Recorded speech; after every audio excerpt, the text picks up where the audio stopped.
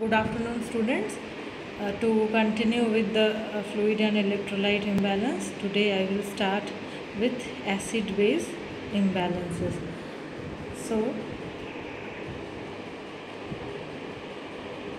these ions balance themselves like a seesaw. Solutions turn into acids when the concentration of hydrogen ions rises.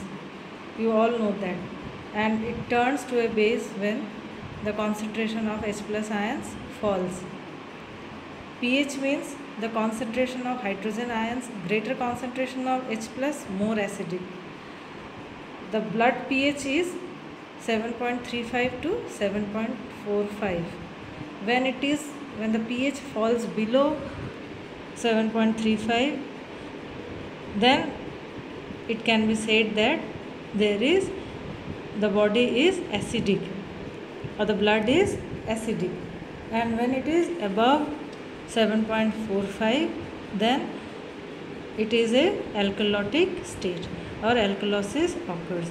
Now how the acid base balance occurs? There are three mechanisms. One is bicarbonate carbonic acid buffer system in the plasma lung and kidney. They always are present in the blood to balance. They are acting like a buffers. Now any condition which increases the this you have to remember any condition which increases carbonic acid or decreases bicarbonate base causes acidosis and any condition which increases bicarbonate base and decreases carbonic acid causes alkalosis. So metabolic disturbances tend to affect the bicarbonic side especially and the respiratory disturbances tend to affect the carbonic side. Now there are four divisions. Acidosis alkalosis is a type of acid base imbalance. There are four different types of imbalances acid base imbalances. One is respiratory acidosis second is respiratory alkalosis third is metabolic acidosis fourth is metabolic alkalosis. Now let us see one by one. First is respiratory acidosis. Respiratory acidosis occurs when there is retention of carbon dioxide in the body. So in this diagram i will show the conditions in which there is retention of carbon dioxide in the lungs. One when the lungs are not working properly. Another when the lung is working very hard. So the conditions in which the lung is not working properly is due to over sedation because of central nervous system depressants. The lungs are also not working. The respiratory center is depressed brainstem trauma which can also depress the respiratory centers. Immobility chronic immobility can cause uh, the, can cause depressed lung function and respiratory muscle paralysis. These all conditions causes underactivity of lung. And on the other side when the lung is working very hard and then also it is not able to expel out carbon dioxide are bronchitis, emphysema, pulmonary edema and pneumonia. Now in these two conditions or these causes uh, the these can cause retention of carbon dioxide causing hypercapnia hypercapnia which lowers the pH to below 7.35 so what will be the symptoms? Restlessness lethargy muscle twitching tremors convulsions coma and there will be vasodilatation.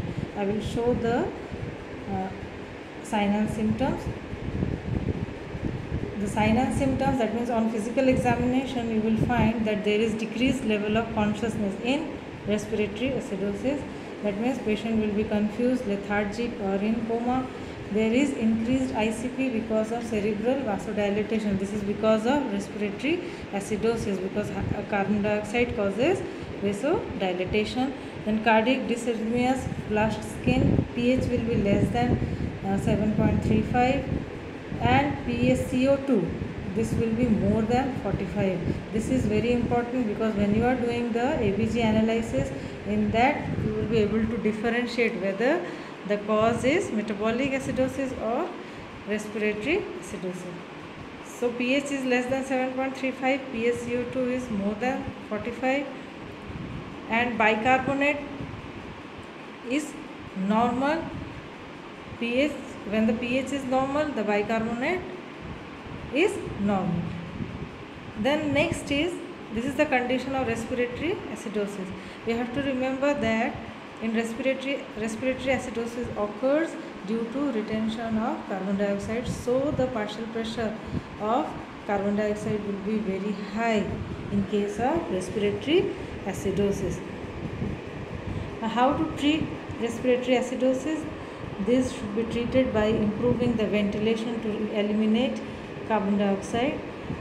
So and supplemental oxygen should also be given to correct the hypoxia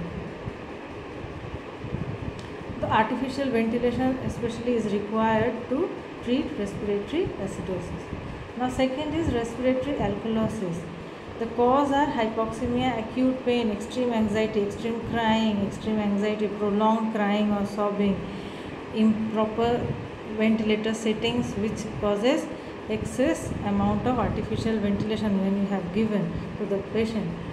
Then some conditions of head injury, sepsis, meningitis which stimulates the brain stem so that there is hyperpnea. So in respiratory alkalosis in the diagram you will see the pH is more than 7.45 PaCO2 it is it falls below 35 mm of Hg. This is an important indicator or important finding in respiratory alkalosis. In acidosis, it, the PaCO2 was more than 45 or it was around 45. So causes of respiratory alkalosis which I had said hyperventilation because of any reason due to anxiety, fear or excess amount of vent mechanical ventilation if it is given then the person can go into respiratory alkalosis. So what will be the sign and symptoms? There will be increased rate and depth of respiration, lightheadedness because of vasoconstriction. In that, in respiratory acidosis, vasodilatation occurs. Here, vasoconstriction occurred. Decrease and decreased blood, cerebral blood flow, numbness and tingling of oral region, paresthesia. Excitement, confusion, decreased level of consciousness, tachycardia, cardiac dysarrhythmias, pH is more than 7.45, PaCO2 less than 35. So ABG analysis will clearly differentiate the cause either it is alkalosis or acidosis. Now next condition is metabolic acidosis. Metabolic acidosis occurs when there is increase in the acid or a decrease in the bicarbonate ions. The causes are ketoacidosis when there is increased amount of H plus ions in hypermetabolic states in, in, in these conditions also there is a uh, lot of H plus ions oliguric renal disease in that the hydrogen ions are retained because of renal failure circulatory shock. In this also hydrogen ions are retained. In diarrhea bicarbonate ions are lost. Pancreatic uh, fistula the bicarbonate ions are lost. So the uh, on physical examination or you can say the sign and symptoms will be lethargy headache abdominal pain cardiac arrhythmias and decreased level of consciousness.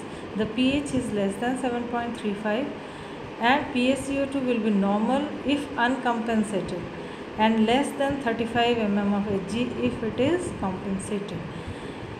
And bicarbonate ion is less than 22 normal is around 24 to 26 so uh, in metabolic acidosis you will see that the pH is low. It is less than 7.35 and the bicarbonate ion is low 22 uh, milli equivalent per liter.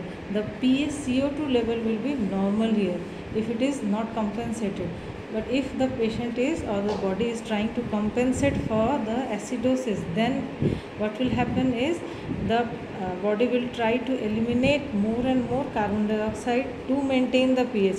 So if PaCO2 is falling that means there is some degree of compensation so I, I think that you have understood the difference between metabolic acidosis and the respiratory acidosis and also the compensatory mechanisms.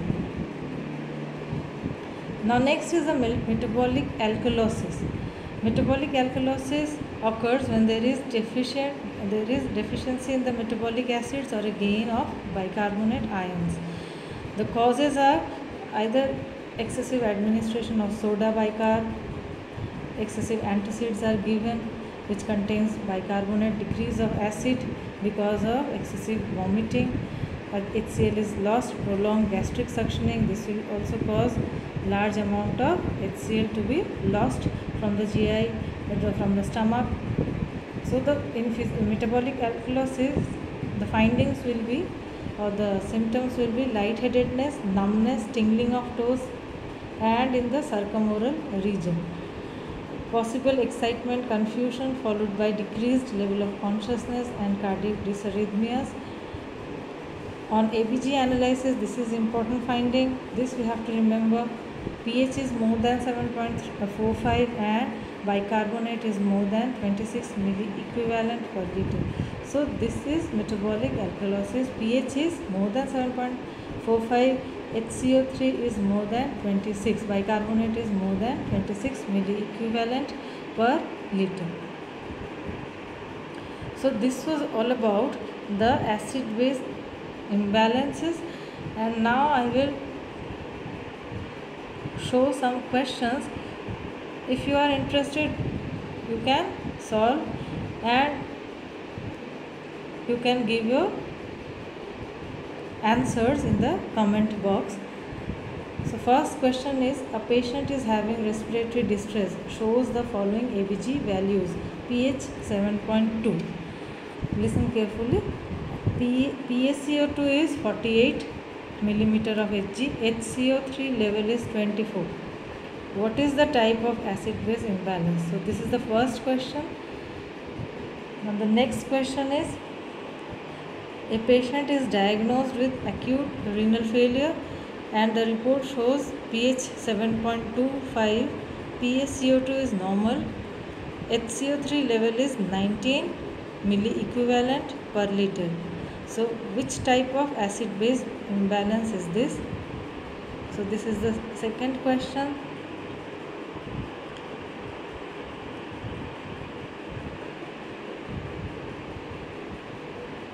Now this is the third question.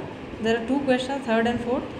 A patient with severe acute asthma has ABG values pH 7.2, PaCO2 60, HCO3 24 milli equivalent per liter. So which type of acid base imbalance is this?